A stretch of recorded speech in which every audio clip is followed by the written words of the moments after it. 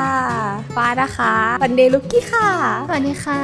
สวัสดีค่ะพลอยค่ะ เย้วันนี้มาซ้อมเป็นครั้งแรกนะคะ ตื่นเต้นมากๆเลยอยากรู้มากว่าเพื่อนแต่ละคนจะเต้นเป็นยังไงกันบ้าง ครั้งแรกค่ะ